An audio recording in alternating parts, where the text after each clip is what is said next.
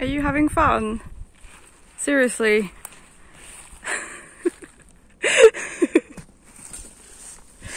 okay. Um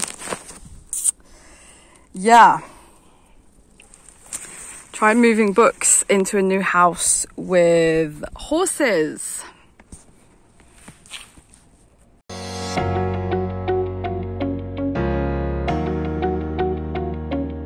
My name is Payanna. I'm a book obsessed metalhead, and welcome to my channel. And also, welcome to my new setup. I am currently in the process of moving house, and this is my new official private library, and I'm super proud of it. I was scrolling through the book related news yesterday. This guy telling me that I should give away all my books and that nobody should have big book collections and big libraries because it's all useless and superfluous and blah and blah. So this is a debate which comes back quite regularly in the book world and I've talked about this before on my channel. So back in 2018, I think it was, I made a video about Marie Kondo uh, on one of her programs told a person to get rid of their book collection and this sparked fury on the internet. I had made a video about that back in the day. I also have one about bibliophiles versus bibliomaniacs and like the difference between those two things. So I thought that I would give my definitive two cents, I guess, on this issue,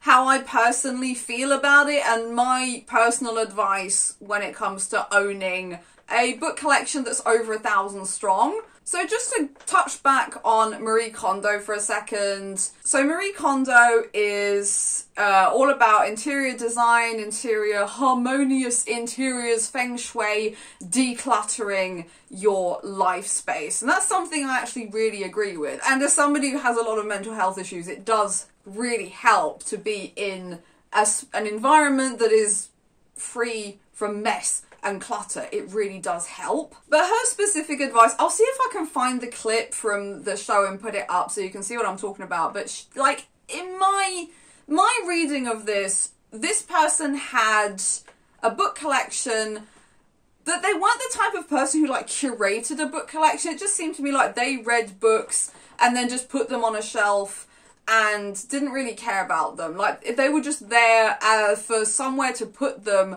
and not a collection that was specifically curated and they didn't really need to be there. And if getting rid of that is going to help with decluttering, then I'm not mad about it. I didn't read it as her saying, like telling people who have big book collections that they care about, that they curate, to get rid of them. It felt more like if you have a book collection and you don't really care about it and it's not really there for any reason, it's just there as a place to put the books that you've read, then getting rid of them is not a problem. I don't know if I'm making myself clear, but like to me, I wasn't mad about it. But the article I read was extremely specific. Like it was basically addressing everybody and saying, oh, you, you need to get rid of your books. Don't keep them. Ever regardless of situations, regardless of circumstances, just don't keep them. Um, yeah. And this to me felt like it was it was just like, oh, read a book, enjoy it, and then get rid of it. You don't need to keep it. But yeah, well, some of us do. And this is where it's really important to understand the difference between bibliophiles and bibliomaniacs, because we often talk about bibliophiles as, oh, these are people who read lots of books. But there is a difference between a bibliophile and a bibliomaniac. So a bibliophile is somebody, these are people who go to the library. These are people who enjoy reading but that don't have any emotional attachment to their to their books and therefore they don't have any issues with just reading a book and then you know just taking them back to the library just getting rid of them giving them to a charity shop whatever. They don't have an emotional attachment to them.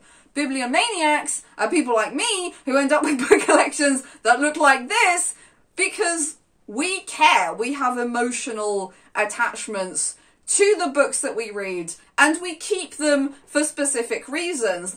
Every single book here is here for a reason. Uh, especially books with very positive memories attached to them, all the ones that I loved, I will definitely keep and cherish forever.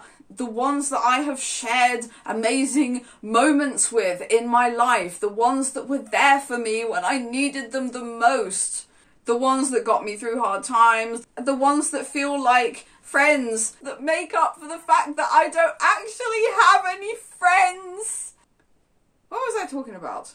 I had the opportunity to go through my entire book collection and decide which books are going to stay, which ones are going. And there's four bags of books in the corridor right now waiting to be donated to the charity shop because I don't need them. So I don't have a problem with getting rid of books if I don't need them, if they're not books that I have a positive feeling towards, if I don't feel like they belong in my collection, I don't have a problem with giving them away. So the points that came up in this article were, well, that, that having a big book collection that was, oh, well, we all want the library that's in Beauty and the Beast, Belle's wonderful library in the Beast Castle.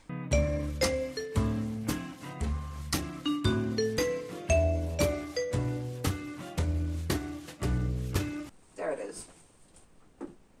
That book exists. It's called Belle's Library. Yeah, I feel strongly about this. So his argument was that we don't all live in a castle and have the room to have such a collection. And obviously, this is something you need to take into consideration if you are considering getting a big book collection like this. You need somewhere to put it because it does end up taking up quite a lot of room. So I'm lucky that I live in a big house, so I have this room is just for me and my boyfriend's got his own room for, for putting his own stuff in so we can like both do our thing in our own personal space uh, that the other one doesn't have a say over what goes on in it. So obviously that's a luxury, not everybody gets to have that. So and my giant book collection, as I said, it takes up a lot of room. It has been a problem uh, between me and my boyfriend because as i said we share a house we share a living space. So obviously like if i decide to put up a bunch of shelves and have a giant book collection it's going to take up space that maybe he'd want to use for something else. Like it's a lot of space. So this is something that needs to be taken into consideration. Where are you going to put the books and is it okay with everybody living in the house that they that, that they take up the space that they need to take up another point was moving house. So I've just finished. I've just moved everything in. I'm also quite lucky in the sense that I don't have a time limit on when I have to move in because like I own this house. Um I don't have a time limit on the time it's going to take for me to like move in here and leave our old house. So I had a lot of time to kind of move all of this in, put put everything in bags. I like using these big, you know, shopping bags, bags for life, and filling them up with books and taking them, and you know, just bringing them in. It took about a week to bring everything over to get everything sorted out and put it all in place. Books are heavy, uh, especially when there's a lot of them. Somebody needs to carry them. So I'm quite strong. It's not a problem for me. But again, this is something that needs to be taken into consideration. It's a lot of stuff to move. It's a lot of weight. We've moved house twice now with my book collection, so it wasn't as big as this last time we moved. But my boyfriend was very clear. He was like, I am not touching your books. You are sorting yourself out with them, which I don't mind. Uh, but yeah, that's something else that needs to be taken into account. Uh, moving house. I want to also tell this story because I used to actually work in bookshops and this guy came in one day and he, he told me that he used to be like me, used to have a massive book collection. He was a bibliomaniac. Uh, he was so attached to his book collection, which he said was about 3,000 strong. And one day his daughter gave him an ebook or an ebook reader like a Kindle. And he said that from that day on, he only read books. Like, he only read ebooks. And he wasn't interested in having physical books anymore, so he donated them all to the library. Uh, also, he was moving house and he didn't really want to move. He was like getting on a bit. Uh, he was in his mid 50s at this point. He didn't want to go through moving house with a 300, uh, 3,000 book strong collection. Uh, so he donated it all to the library and made the transition between physical books to ebooks. Feelings and attitudes towards book can change over a person's lifetime. It's not like fixed in time. So this man was like 100% I'm all about ebooks now. I never want to see a physical copy of a book again. Ah! Just it goes to show that all book, like reading mediums, have a place uh, depending on the person. Personally, I'm still a physical uh, book kind of girl. I can't I can't read on a screen. Like I've tried, I have um, in the past. It's yeah, it's not for me. Not yet. Anyway, I do also think it's important to like go over your. I mean, I do this quite regularly. I do this pretty much everything I own, like not just my book collection. I do just kind of go through my stuff and just think the with the whole decluttering thing in mind do I need this stuff in my house? And it, this is something that I think applies to everything, you know, books, clothes. Do I wear all the clothes that I have? Do I need to keep them? Uh, do I need all the stuff? Because we own just stuff. Do we need it? If so, uh, if not, it can go to charity shops. So yeah, I do believe in decluttering. I do believe in having a harmonious interior. Personally, I am super, super pleased with this room. Like, it's not finished yet. I still have some stuff to sort out. But so far, I'm super pleased with this. It gives me immense joy and happiness. It brings fulfillment to my life. So no, I'm not gonna give away all my books because this article told me to. Like, people own, people have book collections for a reason.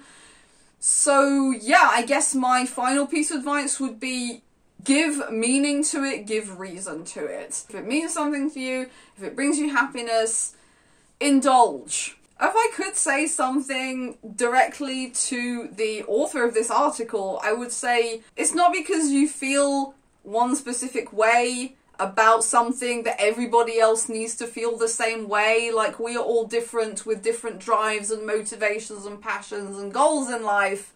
Please keep that in mind before you write articles like this. So that's it uh, for this subject, at least for now. I guess I'll revisit it the next time one of these articles comes on my radar. But yeah, that's my definitive thoughts on the subject uh, at least uh, at this present moment. If you want to watch my original video on Marie Kondo, I'll link uh, that one and the one about uh, bibliophiles and bibliomaniacs in the description, or I'll put them up here somewhere, I guess. Well, yeah. I wanted to put this giant poster of Avantasia I had. I got this with the new, when I bought the, the, the latest album, a paranormal evening with the Moonflower Society, and I wanted to put it on the wall, but I did. It's so big, I didn't have enough room for it, so I put it on the door instead.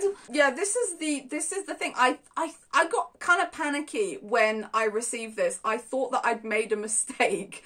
And that I bought the vinyl instead because last time I bought a double CD, it was uh, it was one of um, Powerwolf's albums, and it was it was like normal CD size, like it was it was like double CD with an art book, but it was like normal CD size. And I was like, did I make a mistake? Did I buy the vinyl instead? Um, cause I don't normally buy vinyls. Um, I'm a CD kind of girl, but like,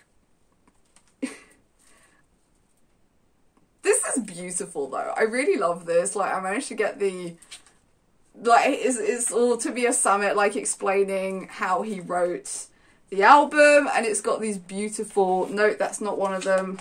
There we go. These beautiful illustrations uh, with all the song lyrics. Look at that. Very victorian uh, in in the rain gothic graveyards uh, stuff. I love it. I love I love Avantasia. I love the I love the feeling of it.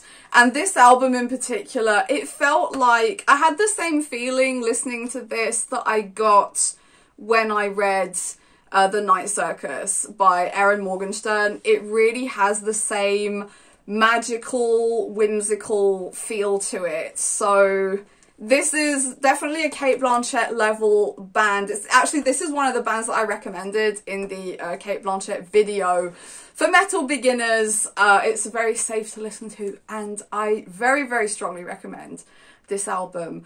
A Paranormal Evening with the Moonflower Society by Avantasia. Go give it a spin. that's it for this video. Thank you so much for watching. Don't hesitate to leave a comment. Tell me your thoughts. Do are you more of a I want to keep my books forever and cherish them and love them type of person? Or are you more the type of person who will just happily give them away? Tell me what you think. Tell me tell me where you are on this spectrum in the comment section. In the meantime, I uh, thank you so much for watching and I'll see you all next time.